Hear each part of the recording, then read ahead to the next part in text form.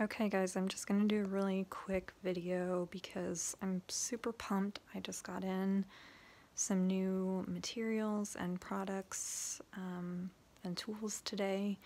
I'm gonna be doing some more leather working and so I got in all of these leather working tools. I got in um, some different tools here, some punches and some stamps and things. Um, some threading, this terribly bent mat that I don't know what to do with. And um, I've got some like medium thickness camel leather, some black, some dark brown, and then I also got this super awesome um, rose beige and rose gold Italian leather that I'm really excited to work with think that's going to be super pretty, so I'm pretty excited about that.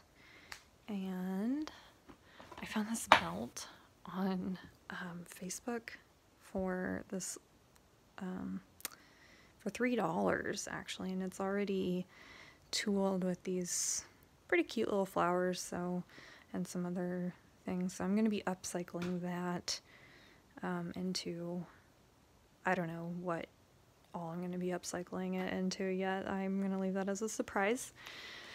Um, and some, and then the other thing is I got in all of my resin stuff.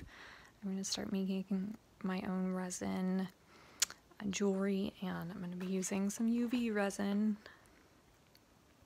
And uh, I have a UV like flashlight uh, that I don't have here in front of me. Um, and some molds, some different kind of pendant molds, like you can make a little obelisk and things like that. This gigantic cool globe thing that I haven't quite decided what I'm gonna do with, but it looks awesome. And I've got some pendants and things. I, in addition with this kit, came with glitter. And if any of you know me very well, I am not really a glitter gal. But, you know, we'll see how that works out. It also came with these sort of sketchy looking dried flowers that are dyed and I don't really know if I'm going to be using these. I went out in the backyard and just picked some little flowers and I um, pressed them and I'm drying them. It's going to take a couple of weeks, but I don't know if I'll even use these or not, but there's some other things I'm going to put in the resin. So, um, yeah, I'm really stoked about making some different things, and I don't know where to start yet, but I also have to move some things this weekend, so I have to be really careful with my time management, even though I just want to dig in right now.